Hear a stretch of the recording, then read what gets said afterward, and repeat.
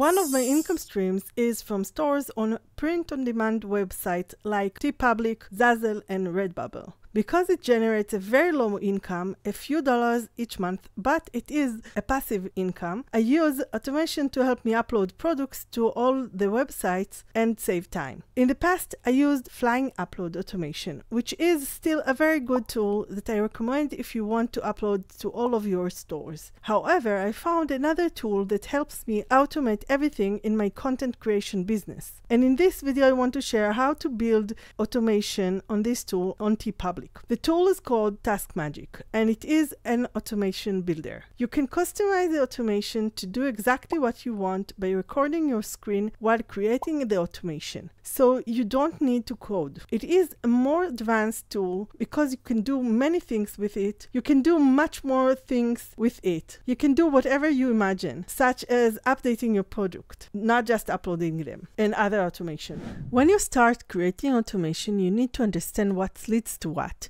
It's important to know which steps to take before and after each action. In this example, I created the automation of uploading designs on products so I can sell them on my store. Before automating the process, you need to do it manually to know what to press before or after each step. Luckily, you're watching this video and I will show you everything. When you upload a design to print-on-demand website, you need four things ready. First is the design. You need to have a PNG file with a clear background. I use Canva Pro and download my design with a clear background. You also need to know if this design is good for a black background or a white background. This is important because you will set this when creating the automation. For each color, you need separate automation. The other three things you need are the title, description, and tags for the product. In the case of TeePublic, you also need a main tag. All of this information should be ready in a Google Sheet so you can use it in the automation. You can create a Google Sheet however you like, but this is how I do it. I organize all the design in one folder on my computer, and then I click Ctrl A to select everything, followed by Ctrl Shift and C to copy the path for the design so I can put it in the Google Sheets for later uploading. In a clean Google Sheet, I freeze the first row and give the first column a name. It could be whatever you like. I call it source. When I create the automation, I know what to put in the uploading step. Then I create the title, description, and tags for all of the designs. Because I make very similar design with small small differences, I can use some shortcuts when I create them. When I create design, I name each one based on the content. That way, I can tell exactly what the design is just from the file name. I create a list of all of the names, whether it's a number, name, or another personalized identifier. To add things to the main name of the product using a formula in Google Sheets, you start with the equal sign. After that, add brackets and include the free text you want all the design to have. When you want to use variable text or number, close a bracket and then add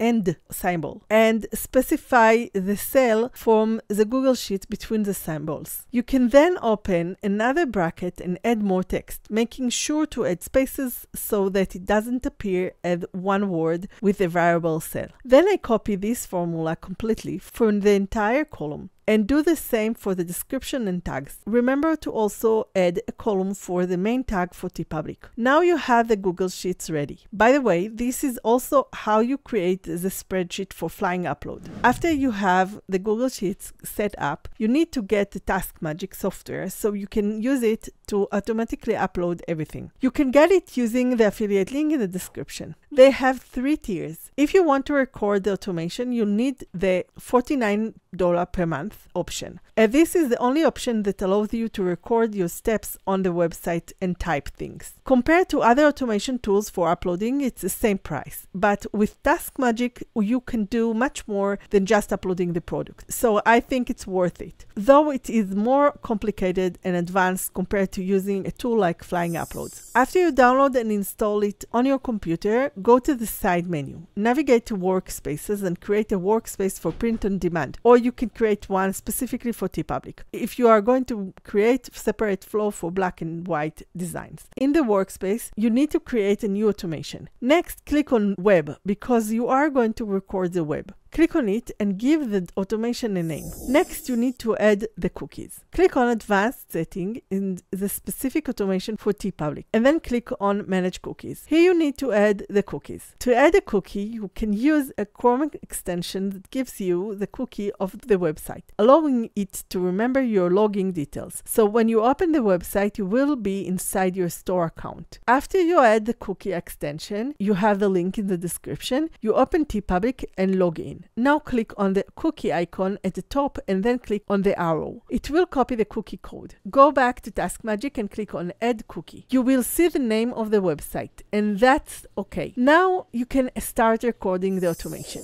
Click on Trigger at the top of the automation and then click on List. This is for the Google Sheets you created. Click on Use Lists from a Google Sheet and then on Set up Sheet Connection. Here you have an email you need to copy and share the Google Sheets with, so it will be able to read the text. Then copy the Google Sheets URL and paste it here. Select the sheet where the list of the product is. If you have only one sheet, you don't need to select it. Wait for it to recognize the information and then click on Looks Good. You have the option to loop the same process of uploading the designs a few times. Select how many times you want the loop to continue. I suggest doing it every 5 to 15 minutes. You can also use the turn on time option. I suggest doing it for every 5 to 15 minutes while you upload every time two designs. Remember though that TeePublic only allows 25 uploads per 24 hours, so make sure it won't be more than that my next row field, write two to start, or you can change it based on the row you want the Google Sheets to process for you. Click continue and you will return to the main page of the automation. Now click on add step and then on record web. This will open two windows. One is recording control panel and the other is Chromium browser where you will record the steps. In the panel you have the first step which is to add the TeePublic website URL. And a side note, add everything as I show you in this tutorial tutorial because this is the optimal way to go through all of the automation without getting errors. I have uploaded a lot of products to TeePublic with this automation. If you are not logged into the website with a Chromium profile, then go back and do it again. You should be logged in in order to record this automation. In the panel,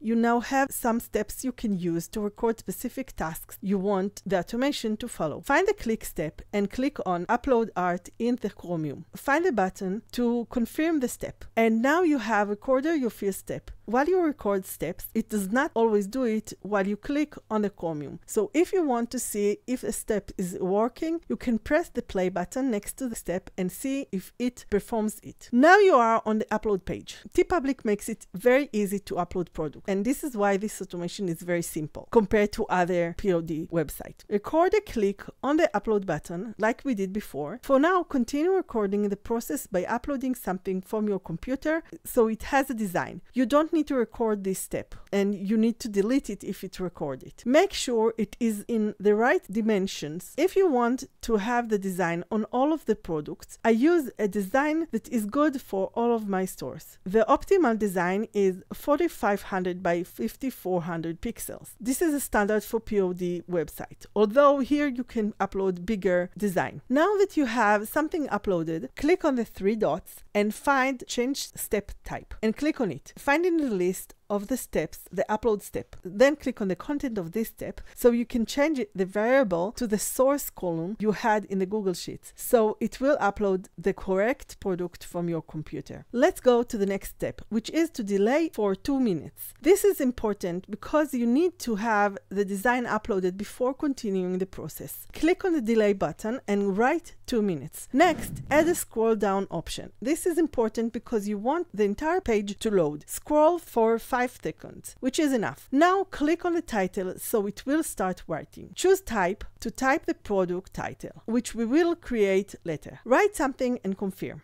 Click yes on the variable because it will be different text for each design and we're going to change it later. Add a click step on describe your design and again use type to write something. It doesn't matter what. I usually write description at this stage so I know I will change it later to the description from the upload file. Add another delay of 0.1 minutes, about 6 seconds. This is is important to give the automation time to finish tasks before moving forward. Add a click step for the main tag and type one tag. On TeePublic, you have the option to add tags that help product get noticed. Write something here and click yes for variable. Then add a step of key press. This is important because it does not work well without this step. Click enter on your keyboard and confirm the step. For the other type, do the same as we did for the single tag. Click, type, and then add key press enter steps. Go over all of the variable that you need to take from the Google Sheets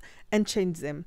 If you name them properly, it will be easier to find the right cell for each specific step. Click on the step content and delete the text you wrote when you upload the, example design. By the way, you can delete the design from TeePublic that you uploaded and published when you recorded the automation if it wasn't meant to be real. Then click on the variable and find the one you want to replace with the demo text. Go over all of the steps that need to be changed, like title, description, and tags. Record the step of clicking on mature content yes or no, so they know what kind of design you upload. Next, scroll down. There is no need to record the scrolling. Record the step of clicking on the first design. Then another step on clicking it again to enable it, because it's going to disable. Click on select default color and choose the main color of, for the design. I choose black because black designs sell better. Do the same for the baseball tee. Click on the baseball tee, then click again to enable it and choose the color. You need to specify for this one. All of the other designs are followed by the first one, but the baseball tee, you need to choose specific color. Scroll down again, there is no need to record it, and click on the box for terms. Record the steps of clicking publish and add a delay of one minute. Click on the green button on the panel, I'm done, to save all the steps. A few tips before we record the trigger. If you need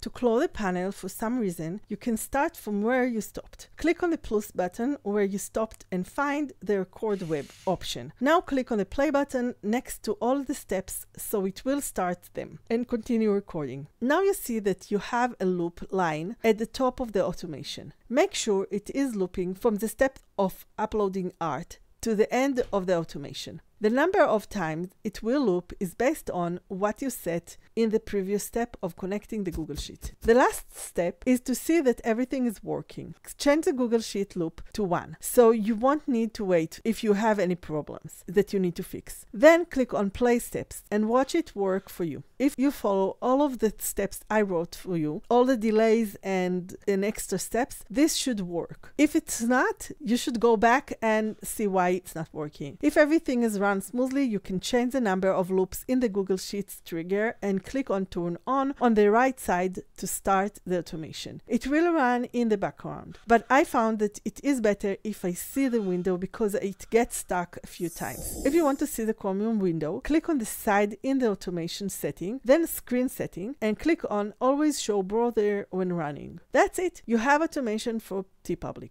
You can do something similar for other websites. Any website where you can upload products, you can have automation. It's not only print on demand websites. The options are endless. You can try Task Magic. The link is in the description. Subscribe and like, and I will see you in the next video.